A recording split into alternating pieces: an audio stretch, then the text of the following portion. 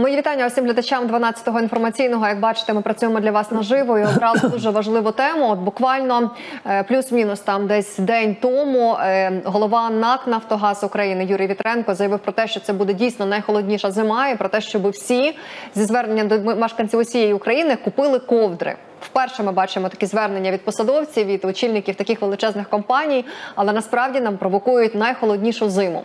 Мав на увазі він під ковдрами те, що температура у квартирах буде дорівнювати 16, ну тере максимум 18 градусів. Ну а взагалі, якщо газу не буде, то і цих градусів е, може і не бути на стопчику термометра. От саме про енергоефективність. Що ми можемо зараз з вами купити, передбачити, як домовитися із головами ОСББ і ось як перезимувати. Найважливіше маємо нагоду в студії 12 каналу наживо розпитати у Сергія Кошарука. Він консультант з енергоефективності, екології та розвитку громад Асоціації енергоефективні міста України. Мої вітання вам, пане Сергію. Вітаю, шановне товариство. Бажаю здоров'я і перемоги. Ви знаєте, я теж бажаю здоров'я і перемоги. Це те, що нам вкрай важливе.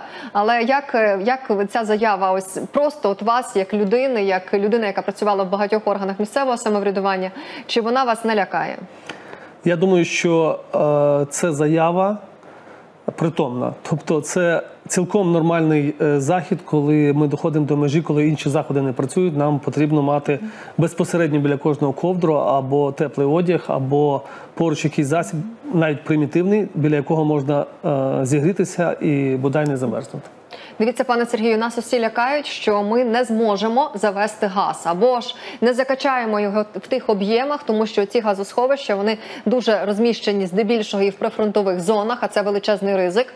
Тобто, так щоб ми простими словами зрозуміли, і наші глядачі, газу в таких об'ємах, який ми мали для того, щоб опалювати там до 20 плюс-мінус. Усі міста України і навіть західної України, де безпечно більш-менш так не буде. Е, це великий ризик щодо газу. І тут є два виміри. Один вимір це безпековий з точки зору форс-мажорів, які нам приносять, приносить, на жаль, е, воєнний стан, е, війна Російської Федерації проти України. І тут ми розуміємо, що може бути порушена інфраструктура, і навіть при наявності фізичної наявності газу його транспорт, транспортувати може бути небезпечно, про, проблематично або небезпечно.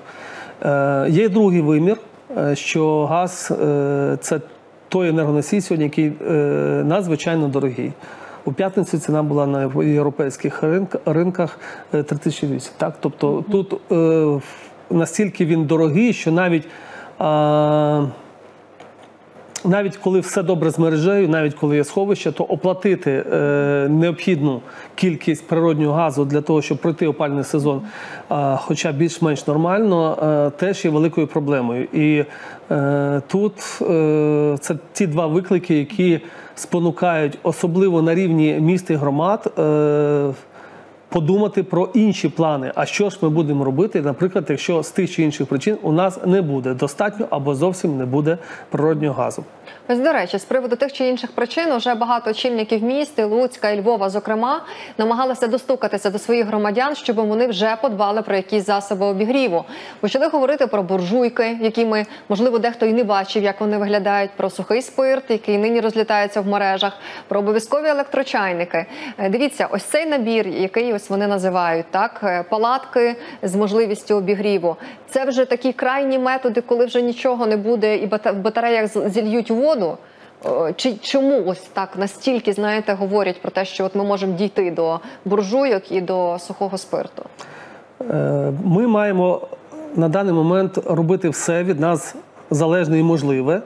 І оскільки е, обзавестися ковдрою це не надто складний захід, ну, за, ну, засіб, е, який можуть собі дозволити е, ну, майже всі люди, так або якщо при бажанні, то усіх можна забезпечити теплими речами, ковдрами. Тому е, ми маємо починати із таких заходів. Тобто ми маємо їх зробити. Давайте зробимо. Е, на усі можливі уявні плани розвитку подій, те, що від нас залежить, від кожного залежить на своєму місці. І тому на місці громадян у помешканнях квартирах е, досить добра порада мати теплі речі, приготувати їх, щоб вони десь були е, на поготові. Е, Подумати про те, якщо не буде е, можливості підігріти теплу їжу, то це можна зробити зовні там на дровах там і так далі. Для цього потрібно мати ті ж самі запас др- дров і таке інше. Тобто є речі прості, які необхідно робити, щоб ми були впевнені, що якщо настане ось цей небажаний сценарій, то на цей сценарій ми також мінімально, але готові. До речі, от на вашу думку, хто має зараз це все передбачити? За ким це? За житлово-комунальною службою, за головами ОСББ, за органами місцевого самоврядування, за Волинь лісом, який має цей дров купити для населення. Бо уявляєте собі, люди побіжать купувати дрова, там от сітка дров на заправці там 140 гривень. Це ж не варіант. Е, Як ви пред- думаєте, за ким? Так, я представляю Асоціацію енергоефективні міста України, і е, я заангажований на те, що насамперед е, влада громад, обрана влада громад, мала би подумати про загальні речі, рекомендації і подумати про енергетичні баланси тих чи інших речей, сировини, енергії, де звідки їй буде необхідно, і в яких кількостях, і як це забезпечити, і е, дати можливість е, тим людям, які е, хочуть подбати про, про себе і про ближніх, е, цю можливість здійснити. Тобто, наприклад, навіть купити ті самі дрова, правда? Для Е, себе Так, їх. але знову купити. Давайте ну так трішечки за- задумаємося. Якщо я мешкаю у багатоквартирному будинку, квартирі. Е, То очевидно, ну дрова мені е, ну і небезпечно в квартирі. Це для цього потрібно мати бодай твердопаливний котел або буржуйку, обладнану бажано е, з протипожежними вимогами.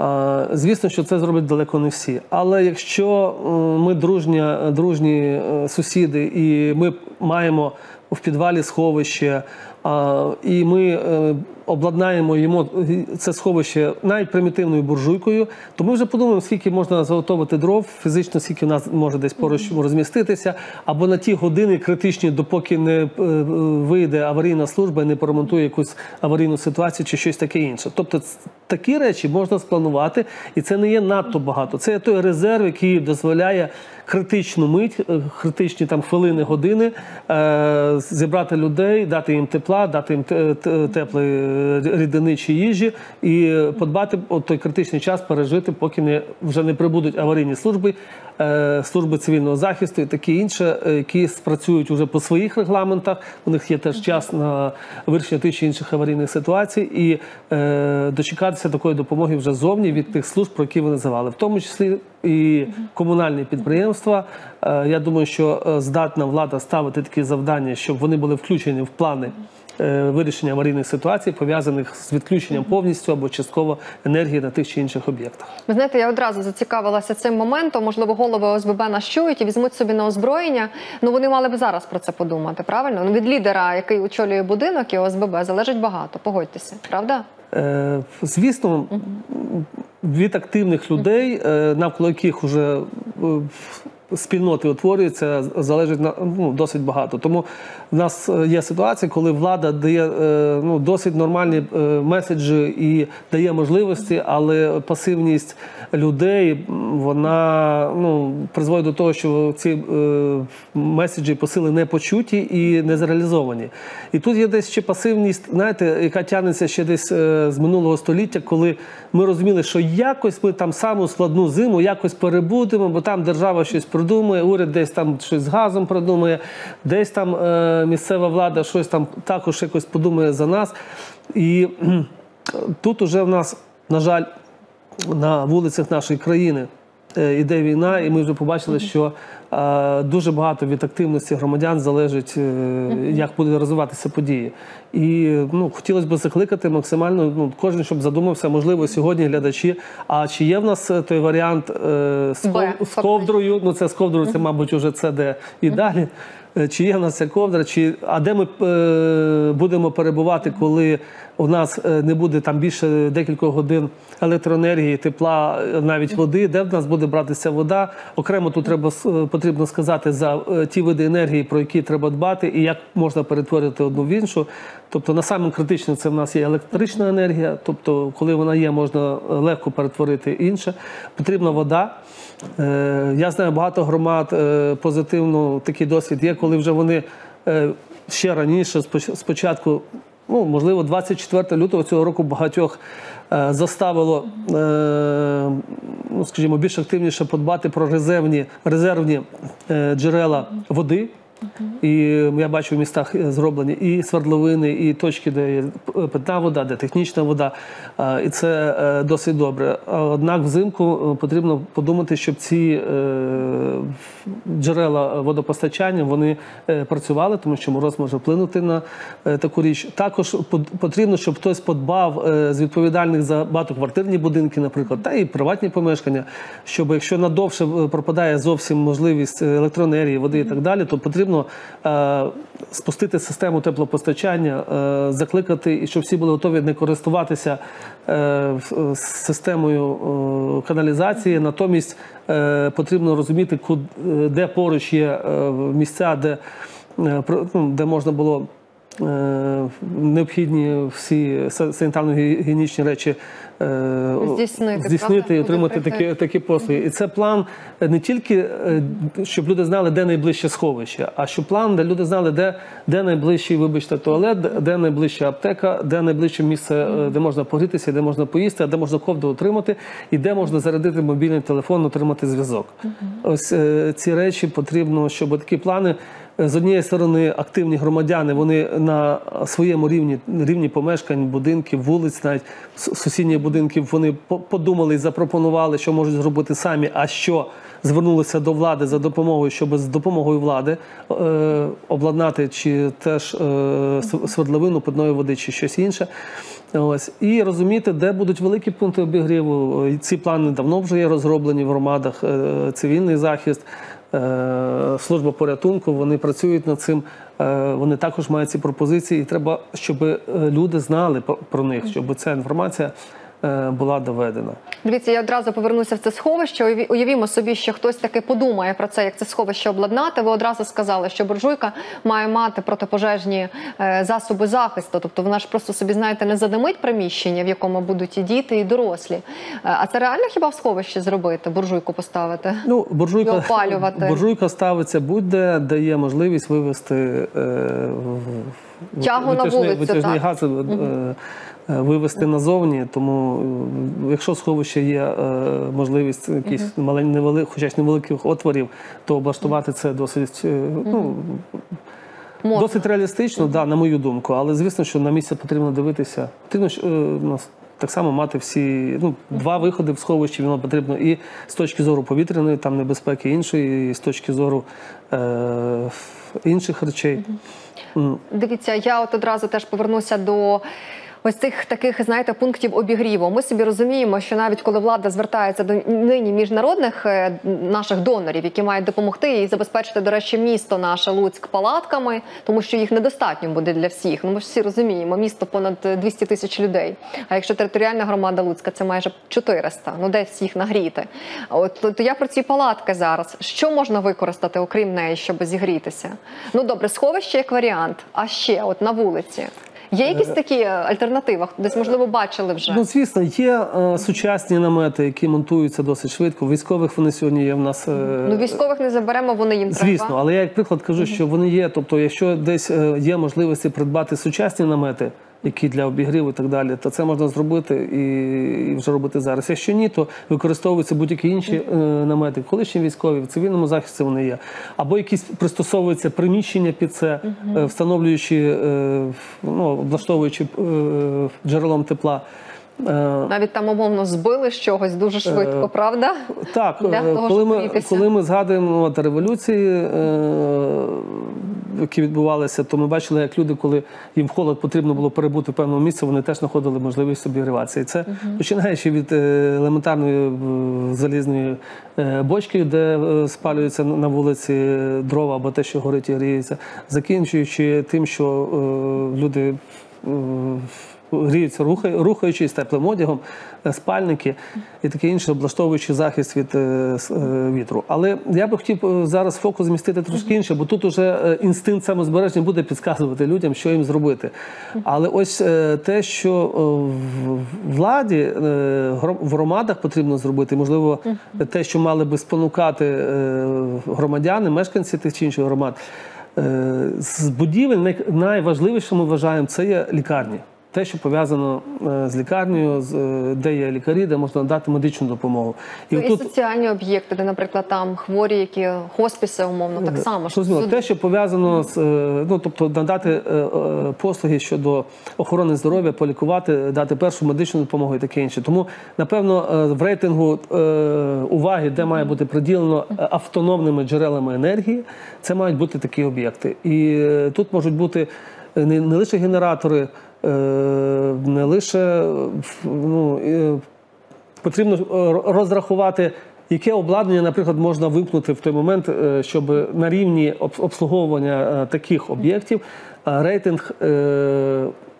Е, е, Того обладнання, яке експлуатується, з точки зору те, що енерговитратне, його можна було б або вимкнути, або залишити мінімальну кількість, тим, щоб е, залишити на найкритичніші речі можливість отримати енергію. З точки зору е, інфраструктури, то ми вважаємо дуже важливо, щоб водоканали мали е, автономні джерела, і якщо щось трапляється е, водоканалі, то щоб можна було б цю чи- дизельні генератори. У нас є приклади, коли ставлять е, водоканали, ставлять е, сонячні електростанції, е, вітрогенератори е, з тим, щоб навіть бодай в- той час, коли є сонце і вітер, е, використовувати ту енергію, в той час піднімати воду, давати можливість. щоб вони мали можливість працювати. Я от зараз якраз до електрики і до того, що все в нас на ній заведено, так ми розуміємо. Води немає в будинку, не працює насос, десь там пропала електрика, і все дуже сильно зав'язано на електриці. Багато хто зараз почав ставити собі кондиціонери не на охолодження, а на обігрів, або ж купує собі панелі обігріву. Знаєте, там від масляних якихось е, обігрівачів і всього решта. От е, що тут небезпека? В чому криється? Якщо ми почнемо вмикати, коли у нас буде 16, а ми захочемо нагріти до 20, усі квартири там почнуть буквально перенавантажувати трансформатори. Ну, звісно, е, тут починаючи з пожежної небезпеки, коли може мережа, кабель електроживлення може не витримати і зайнятися вогнем. А Це дуже небезпечно. В таких е, є часто такі ситуації. Це і проводка ж стара, правда? На це Е, впливає? Ну, можливо, є стара проводка, е, і вона там, де вузько, там і почне рватися, як то кажуть. А інша ситуація, що може бути вийти з ладу ну, загальне постачання на весь будинок. І тому, якщо мешканці усі одночасно будуть робити такі дії, вони мають розуміти, що вони усі також можуть постраждати, то краще або зробити графік використання енергії, розуміючи, скільки будинок критично може отримати одномоментно. А ось або ж розуміти з певними запобіжниками е, добровільно їх встановити, щоб розуміти, що якщо більше та чи інша квартира е, в момент отримує енергію, щоб запобіжник спрацював і вимкнув постачання і зберіг енергію для інших. Е, Тобто важливість зрозуміти, наскільки об'єкт.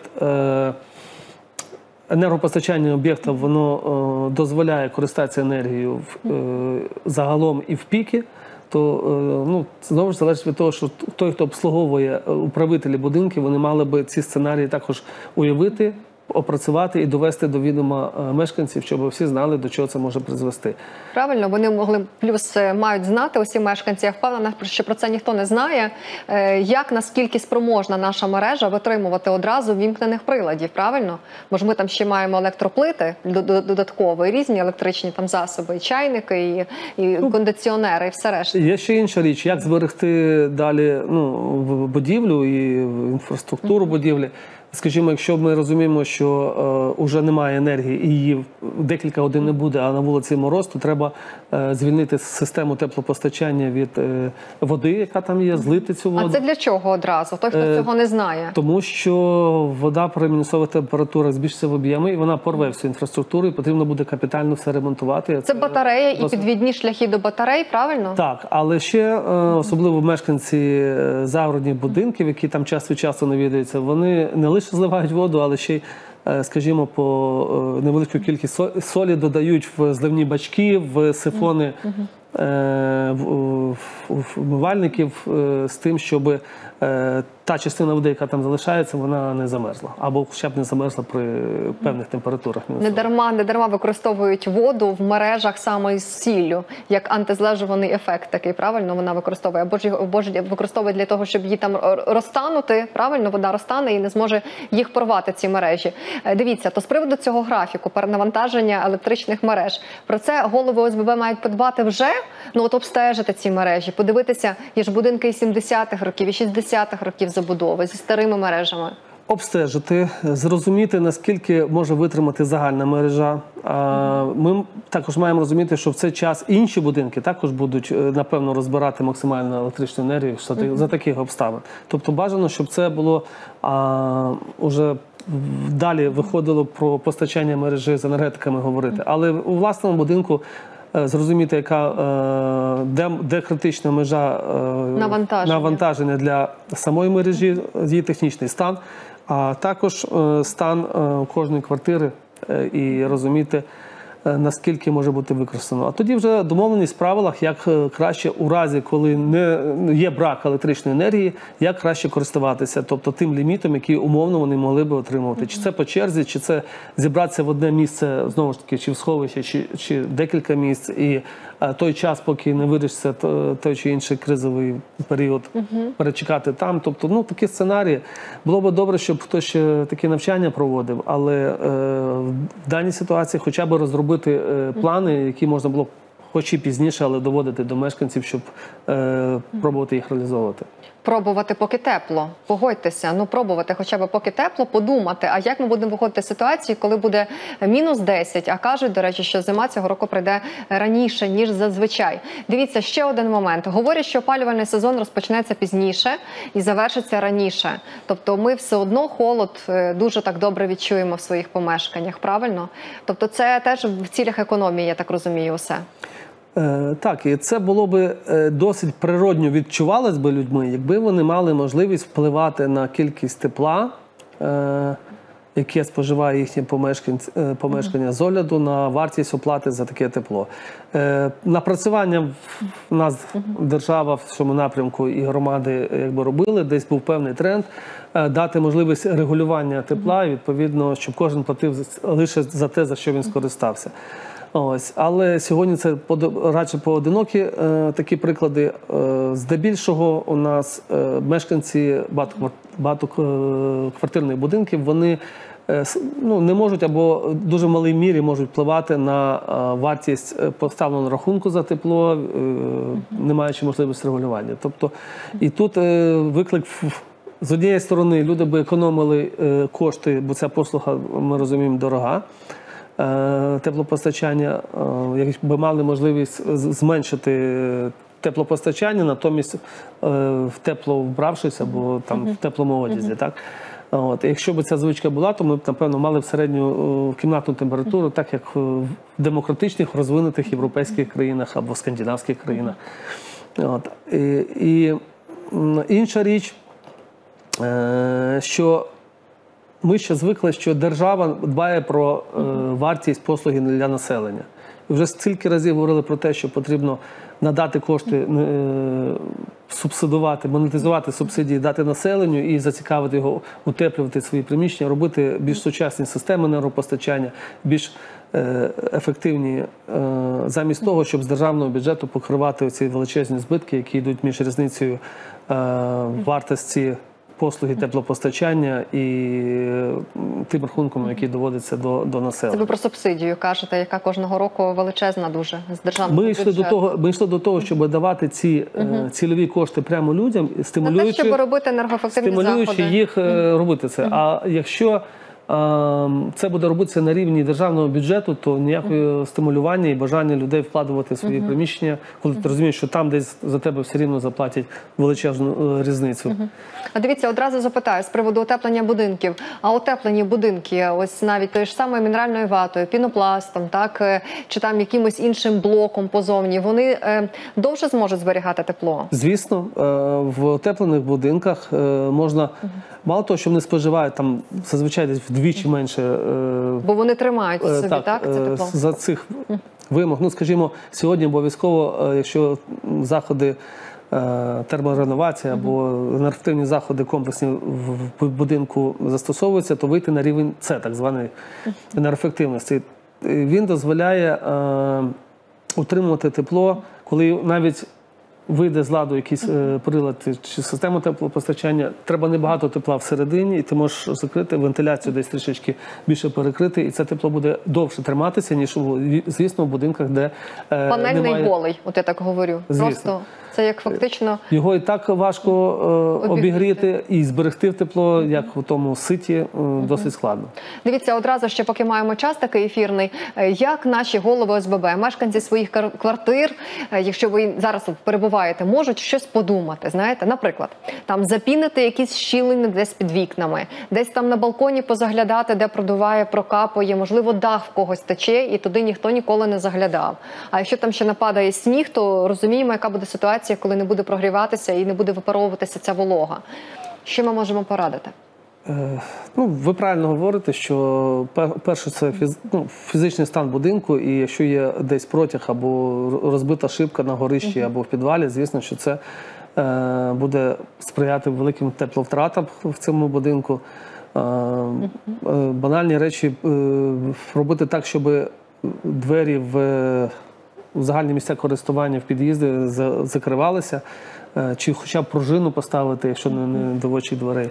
Якщо немає е, тамбура, то хоча б таким чином подбати. Е, Хоча здається, це так мало, так щоб двері закривалися. Але да, це насправді дає, це дає шалений ефект, порівнюючи з тим. Ну, поведінкові е, речі, от заходи, які стосуються поведінки, щоб закривати за собою, подивитися, чи шибку вчасно замінити, вони е, дозволяють зекономити в, в перший рік, коли ти починаєш це робити, порівнюючи з тим роком, коли цього не робилося, десь ну мінімум 10-15%, а буває і 40 і 50, залежить, який стан був до цього. Тому, о, якщо це е, перевести в кошти, то це досить значні кошти, які дозволяють ці зекономлені кошти вже вкласти в якусь е, термореновацію частину об'єкту. ну але знову ж таки, навіть якщо і на балконі десь сифонить і продуває, там теж можна щось подумати. Звісно, Навіть е, не обов'язково, знаєте, бо ж коштів людей немає, кредити вони не можуть взяти, але якісь такі мінімальні засоби от такого е, термо, термозакриття цього вітру вони можуть придумати. Звісно, зараз. це е, залежить від людей, і це вони можуть подбати. І я думаю, що це люди роблять. Ну насправді мені здається, що кожен це робить. Якщо він десь господар в себе вдома, то він дивиться, якщо десь холод і десь відкрит, то він цю щілинку закриє. Ось, але як зробити, щоб щілинку закрити не, не лише в себе в е, квартирі, не в своєму вікні, але, наприклад, в загальному під'їзді е, чи, чи ще десь, де начебто ти не зовсім можеш на це впливати, бо це начебто усіх, то там уже по, ну, потрібно або активних мешканців, або щоб зверталися до е, компаній, які, управляють цим будинком. Зараз кожен будинок має свого управителя. От. Там, де є е, створені ОСББ, то мені здається, там більш є згуртованість. Вже там давно люди вже подбали про такі первинні речі, там, де залежить від поведінки. Вже дбають про те, щоб залучити якесь фінансування і зробити будинок більш енергоощадним.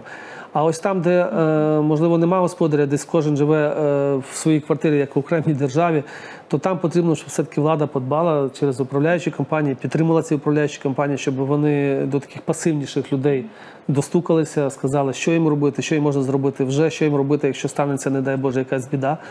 Е, До кого звертатися і до кого йти за допомогою. Особливо це стосується старших людей. От зараз мені здається, якраз голови ОСББ мали почути той, хто не може собі зарадити, мали би звернути увагу на таких людей. Ви знаєте, на сам кінець ще одне є запитання: твердопаливні котли, от там не знаю, умовно на щепі, на дровах, на всьому, чи можна палити і розпалювати свої печі. Це взагалі для кого? Це тільки для приватних будинків. Тобто ніхто собі твердопаливний котел в квартиру не поставить. Ми так собі розуміємо, правильно? Це альтернатива взагалі нам на майбутнє, бо ми розуміємо, що з газом буде проблема така завжди. Як ви дивитеся з боку такої енергоефективності? Я скажу, плані? що для кожної громади е, є певний один, два, три, е, декілька елементів е, чи видів, верніше, е, локального біопалива або того, того палива, яке в них постійно є десь е, на цій території. торф, от, умовно, на Поліссі є. Так, про торф, торф відносно. Ну, моя особиста думка, що торф радше використовувати як добрива чи щось таке інше, бо все-таки є багато більш поновлюваних джерел енергії, аніж торф. От. І тут і сонячна. До речі, е, багато фізичних осіб е, встановили сонячні електростанції. І е, здебільшого ставили під зелений тариф і робили мережевими. І ось е, якщо мережа виходить з ладу, то і є сонце, і працює начебто станція, але вона не дає жодного кіловату, бо е, мережеві інвертори вони тільки працюють назовні. Тому тут потрібно подбати, щоб е, зробити гібридний інвертор, тобто е, щоб він міг працювати і локально, і на мережу. І тоді ми кожна сонячна електростанція це е, для тієї чи іншої громади потенційний об'єкт генерування енергії, в, в, коли, коли є сонце. От. А якщо ще є акумулятори, сьогодні ринок акумуляторів настільки розвинувся, що можна е, там, де е, в одному місці зарядив е, такий переносний акумулятор, і його можна доставити туди, де це дуже необхідно, там, де є якась аварія, там і так далі. Сьогодні е, ну, влада мала б мати таку набірку е, таких акумуляторів і генераторів е, від малого до велика, в залежності від якої ситуації вони використовуються. Але я, наприклад, тут пане Сергію, не можу згадати, де в нас в Луцьку є якась сонячна підстанція, яка би працювала саме на владу, щоб там могли вони набрати тих переносних акумуляторів, Ну, я хочу, зарядити всім хочу людям сказати, телефони. що як мінімум мені точно відомо, що невеличка сонячна станція стоїть на даху обласної е, Лікарні. лікарні. Тобто А. це вже їм допоможе. і протитуберкульозний диспансер Так. нещодавно приєднався. Тобто почали заклади охорони здоров'я такі робити. Це їм вигідно в економічному плані було, а також і в безпековому. А зараз ми бачимо, наскільки це добре. І є і в інших громадах багато. Є у нас навіть е, просто села, де є по 8-9 е, сонячних електростанцій. Вони можуть е, у разі, якщо технічно будуть готові роздавати ще один одному. Сусідам енергію, маючи е, відповідний е, гібридний інвертор і мережу, е, а також вони можуть пра- співпрацювати з владою, щоб якщо влада закупить генератори, вони їх заряджають, а влада використовує акумулятори, перепрошую, ви- використовують їх, перемістивши там в об'єкти критичної інфраструктури і давши можливість уже води там і таке інше. Тому на це важливо подивитися. Громада має оцінити, що в них є на території, і кожна громада має щось своє. І е, щодо твердопаливних котлів, е, насправді. Е, Газові котельні, котли газові легко переводяться під такий вид палива, як паливна пілета. Е, Ставляться відповідні пальники, і е, п- пілета працює на газові котли. Тобто ті школи, там е, центри соціальні або якісь невеличкі лікарні, е, які мають свої такі котли, і в них не мають коштів на те, щоб перевести на такий е, вид палива, достатньо зробити ці пальники. І е, тоді питання буде, де ж взяти це паливо. Е, Волинь е, в цьому сенсі є досить е, краще себе почуває. У нас багато е, біопалива як е, від деревного, так і сільськогосподарські відходи. І тут, е, тут уже загальна е, вже сьогодні попит е, заставляє аграріїв і тих, хто мають е, відходи. Е, Дерев'яні або інші, е, які можна пустити на біопаливо, заставляє їх сьогодні задуматись про те, щоб е, переробити їх у той вид палива, який затребуваний на ринку. Ну, як правило, це найбільше затребувана сьогодні паливна пілета або гранули і е, тріска. Сьогодні ринок е, у нас розвинутий. Дивіться, на сам кінець, пане Сергію, е, все ж таки, до чого би ви радили всім громадянам нашої Волині бути готовими? Тому що всіх дуже лякають цією зимою, найхолоднішим зимовим періодом. Але от нас там зараз за вікном плюс 28, і так ніби не страшно. Але ж зима прийде, і це 5 місяців, уявіть, холодних, 6 навіть часом. Все ж таки, от ваша така порада на сам кінець. Насамперед подумайте про те, що можете зробити ви. Починаючи з, цієї поради про ковдри, про теплі речі, е, запас води і знати, де її можна набрати в, е, автономному е, джерелі. Подумайте про зв'язок і про теплі слова, бо насправді.